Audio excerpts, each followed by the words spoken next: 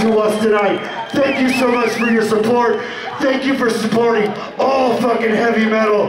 Let's fucking take care of the thing that takes care of us. Fist in the air to metal!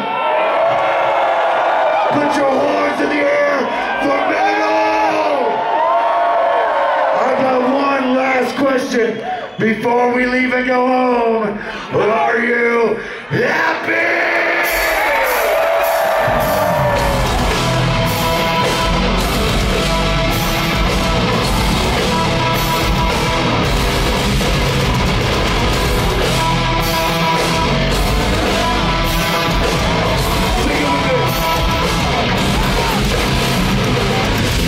In the